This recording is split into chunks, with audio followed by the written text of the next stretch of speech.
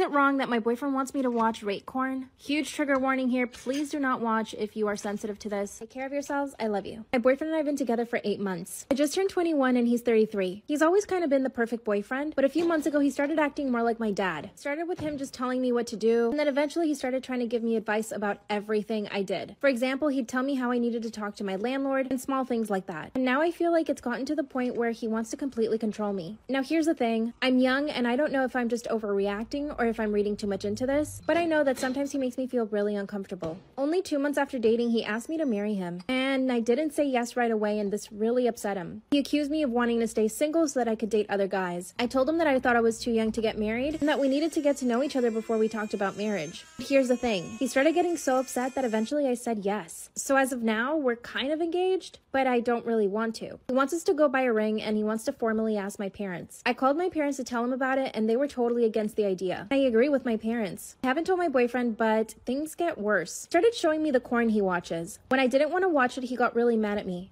Part two is uh, is it wrong that my boyfriend wants me to watch rate corn when he wants to do sexy time? Huge trigger warning. Please don't watch this if you are sensitive. Take care of yourselves. I love you. I was laying on the bed and he flipped his laptop over. That's when he says, Here, watch this. It was kind of like regular corn. Nothing too disturbing, but it made me feel really uncomfortable. Told him it looked funny and he said, Why would it look funny? You don't like it? That's when I said, Not really. At that point in my life, I had never looked up anything related to corn. It's not something that I was interested in. So I felt really uncomfortable. He turned the computer on and I couldn't see the screen anymore. For the next three hours, he stayed on his laptop in his room watching corn. I felt like I was interrupting him. I went to the kitchen and decided to cook. Dinner was ready. I asked him to come eat and he left me waiting another hour. When he finally comes out, his face was completely changed. And for the rest of the night, he was really quiet and kind of rude. A few days later, he brought up the engagement again. He asked me if I had time to go look at rings and reluctantly, I said yeah. Went into a jewelry store and he told me to just choose one. I told him that I didn't want to rush it and he said, it's fine, just choose it now. Later on that night, I asked him to drop me off at my place, but he said he wanted me to stay over at his. When we get to his apartment, he gets on his laptop again. That's when he shows me what he was watching. It was rape corn. He tried to kiss me and I felt sick to my stomach. Part 3. Is it wrong that my boyfriend wants to watch rape corn when he wants to do sexy time? Huge trigger warning here. Please do not watch this if you are sensitive. Take care of yourselves. I love you. That's when he showed me the rape corn on his laptop. And he just lunged at me and tried to kiss me.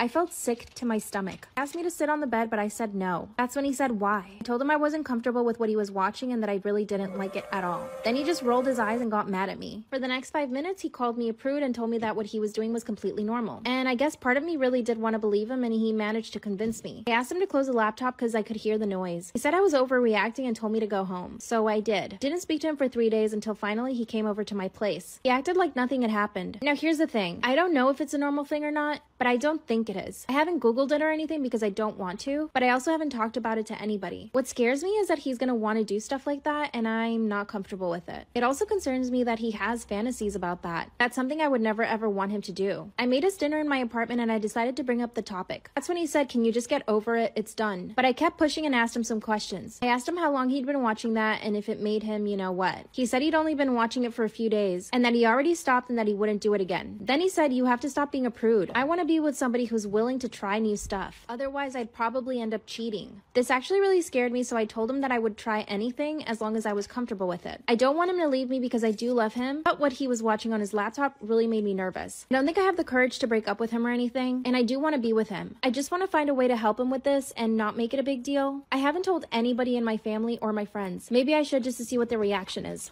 What should I do? Bye.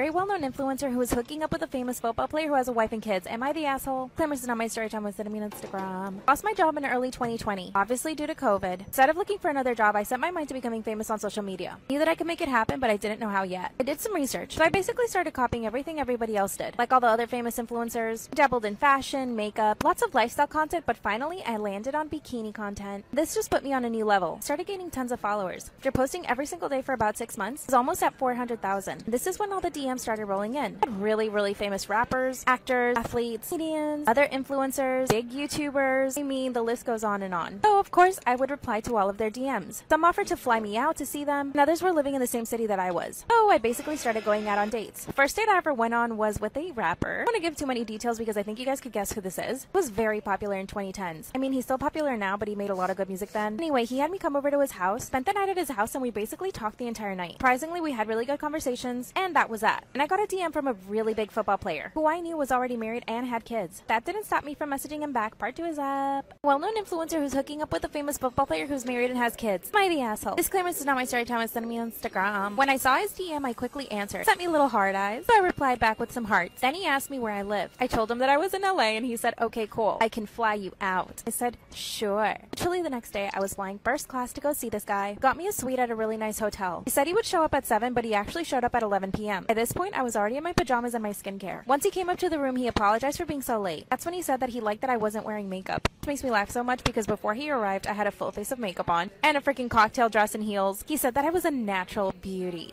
That's when he basically ordered the entire menu from the hotel. He ordered steak, pasta, pancakes, waffles, French toast, champagne, and a bunch of other stuff. He asked me if I wanted a salad. I said yes. While we were waiting for the food, he started kissing me and we basically ended up doing it. It happened really quick. It was over in like two minutes. Afterward, he kissed me and then the food came. He proceeded to eat almost everything that he ordered, but he left me some salad and fries. That was it. It's like he was telling me that he only wanted me to eat salad. After that, he started asking me questions like if I was dating other people. Said no, but I was going on dates. When he told me that he only wanted me to be exclusive with him, that he would fly me out whenever he was available. I said yes, but I knew that I wasn't going to go through with that because I'm not going to be traveling for him all the time. Part 3 is up. Well-known influencer who's hooking up with a famous football player who has wife and kids. Am I the asshole? Claimers are not my story time sending me an Instagram. That's when he told me he wanted me to be exclusive with him, that he would basically fly me out whenever he wanted. Obviously said yes to his face, but I was not planning on it. Would I be flying around the country to go see this one guy? Good news is when I got back home, I had a bunch of new DMs. So I went on a few more dates. Went on a date with a very famous YouTuber. It was super fun, really casual, and didn't really expect anything from me, which was really nice. When we went on our date, he actually treated me like a queen. This guy asked me to be his girlfriend, I would totally say yes in a heartbeat. Then the football player actually ended up calling me the same night that I was on the date with the YouTuber. Decided to go to the bathroom and answer the phone. That's when he started acting all jealous and asked me where I was. He said that I should be home resting and ready to go see him again. He asked me if I could fly out the next day. I said no because I did have a modeling job, thank God. I mean, a girl needs to make money. Then he said that he would start giving me an allowance of $5,000 a month. I said yes to in a heartbeat. So I ended up canceling the modeling job. I flew out the next day to go see him and he actually gave me the 5000 Said that every time I saw him, he would give me more. Here's the thing, he has a wife and kids and I do feel bad about that. This has been happening now for a few months. I have more money now than I ever had. And I'm still modeling on the side, so I'm making my own money. I'm still going out on dates with other guys. What should I do? Am I wrong for demanding my girlfriend to change her dress for a wedding? This happened during this weekend, me being in my early 30s and my girlfriend in her late 20s. I was invited to a wedding ceremony of a colleague and I could bring someone with me.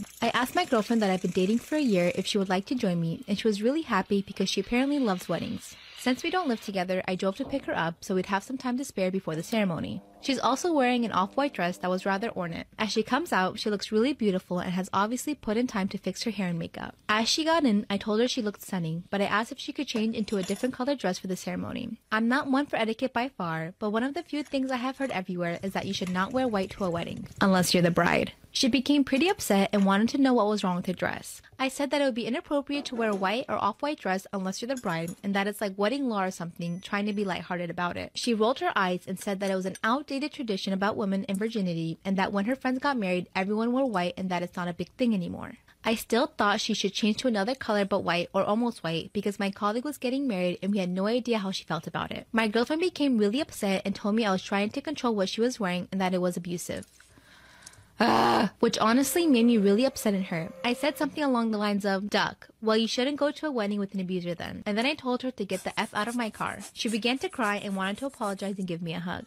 But I just told her to get out, which she did. To clarify, we never left the driveway by her home. I did not drop her off in the middle of nowhere or anything like that. I drove off and she called and texted me a bunch. I answered, I don't want to talk right now, and then turned my phone off and attended the ceremony. The bride was the only one that was wearing white, so I feel as if my gut feeling was in the right. When I got home, my phone had blown up by text from her and her best friend saying that I was being inconsiderate and controlling and should apologize for my behavior. I feel as if I was in the right since it was my colleague's wedding and it was better to be safe than sorry, but I'm also not sure if I was being an asshole about the situation.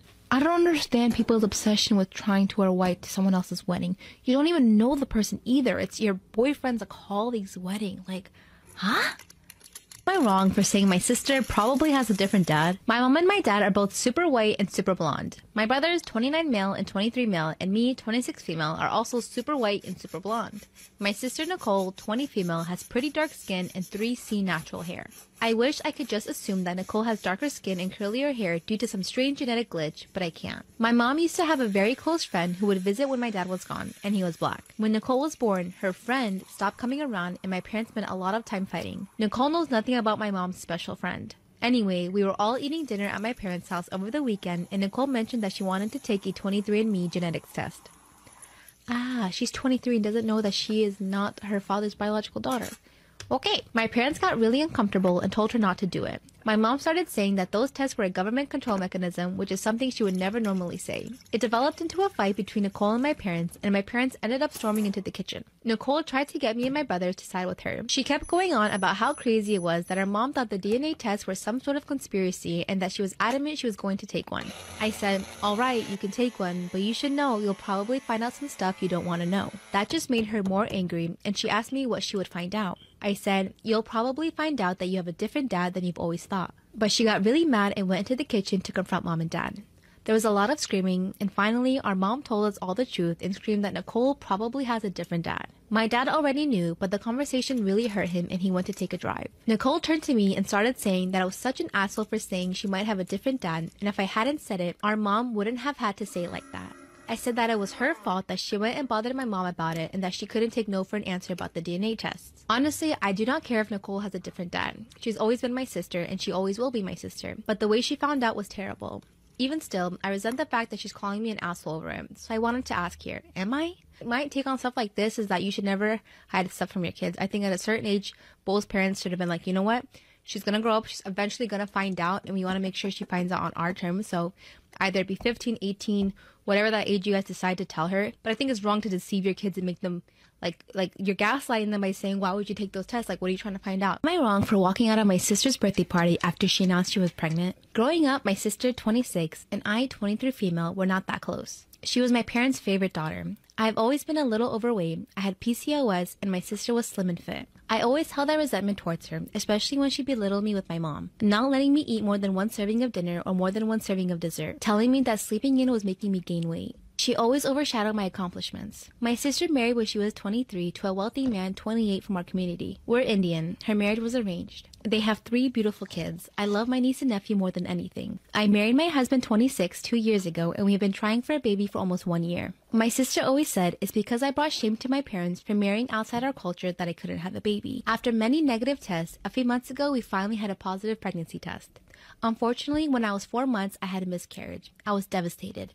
I couldn't believe what was going on. Two months after our tragedy, my family threw my sister a birthday party. There, she and her husband announced they were pregnant. My heart did ache, but I was happy for them. As the evening went on, my sister kept making comments like, We weren't even trying for a baby. It's so funny how we get pregnant so easily. Just as I thought things couldn't get worse, we were standing with my cousins when my sister said, We didn't even want more kids. I was almost contemplating having an abortion. She said all of that while looking at me. I am all for women having abortions, but having my sister use it as a weapon against me, showing off how fertile she is, as she was contemplating having an abortion after they decided to keep the baby and announce it. That really hurt me. I was so upset and frustrated. My husband noticed a change in my emotions immediately. We said goodbye to my parents and left the party immediately. I got many texts from my sister and our cousins calling me jealous and an asshole for walking out on my sister's birthday party and not being part of their pregnancy celebration. What? My husband and our friends say that I had all the right to feel the way I did, but I'm not sure. So, am I the asshole? No, your sister is literally the worst person in this earth. She is so jealous of you. It's so clear and obvious for some reason that, like, she's so bitter in her own life that she just has to shove it all down your throat. People like that, when they have problems within their own life, they have satisfaction by just bullying other people.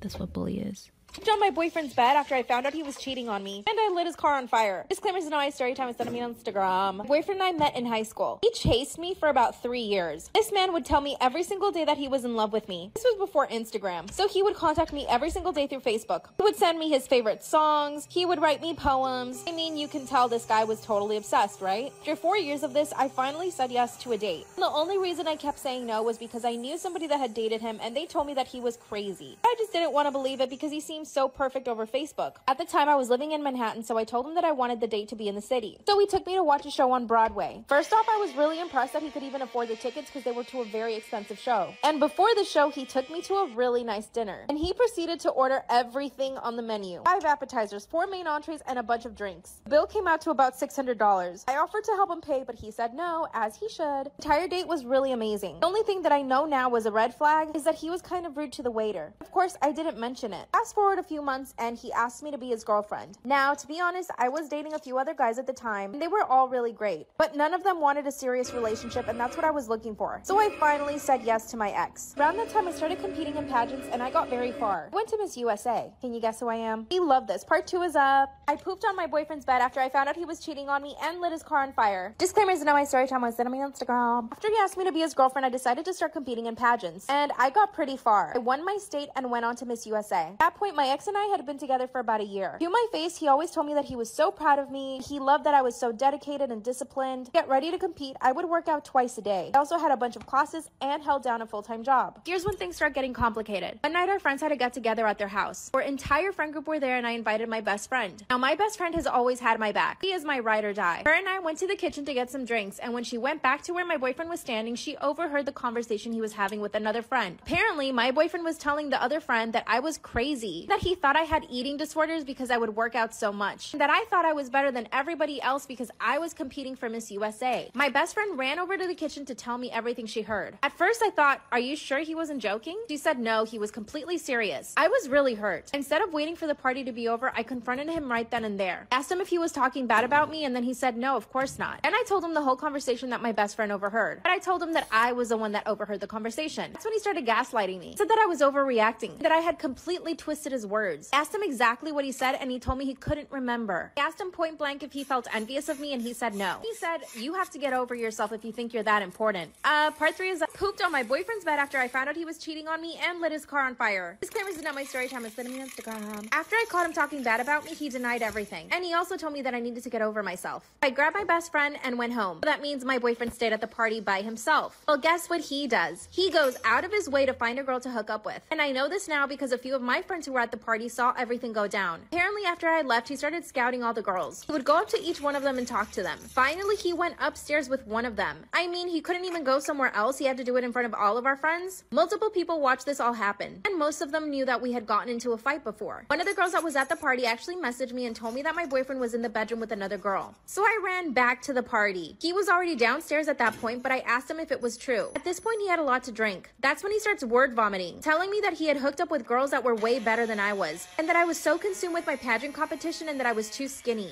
Then he just started listing all of the girls that he had slept with, and two of them were my friends who were at the party. What I did next is probably not the best idea, but I did it. I grabbed a bottle of alcohol and went outside with the lighter. I poured it all over his car and set it on fire. Then I got back into my car with my best friend and went to his apartment. And it just so happens that I needed to poop at the time. So I thought just to do it in his bed. So I squatted over his bed and did my business. Then he messaged me telling me that he was going to press charges on me for his car. Luckily, nobody told on me, so he had zero proof. And luckily, his car was fine. A few months later, he messaged me apologizing. He said that I was the best thing that ever happened to him, but I ignored his messages. No, I didn't win Miss USA, but I'm proud of myself for what I did to him. Bye.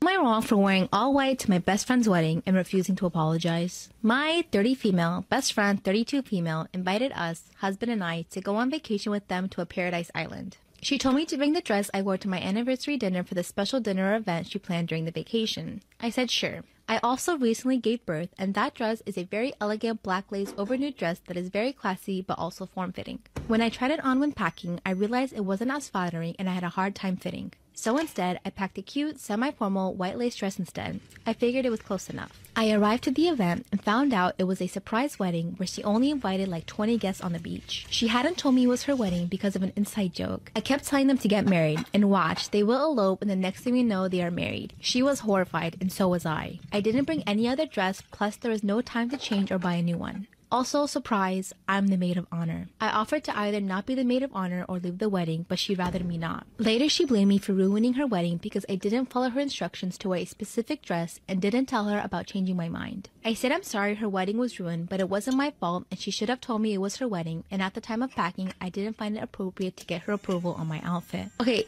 on, this all could have been preventable and you could have kept it a secret. First of all, I would not let my best friend or maid of honor wear the same dress that I've seen her wear. I would have been like, hey, let's go out, let's go shopping for our vacation, let's find some cute dresses for the beach.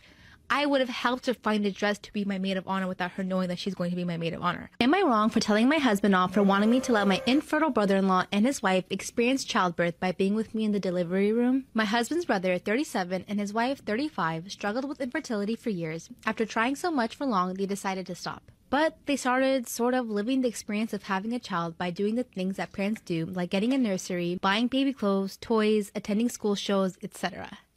It's a Little creepy. I'm seven months pregnant, and brother in law and sister in law have been asking so many questions on what it's like to be expecting. It was bothersome with them getting involved, but I grinned and bear it till they requested to be with me in the delivery room to experience the childbirth.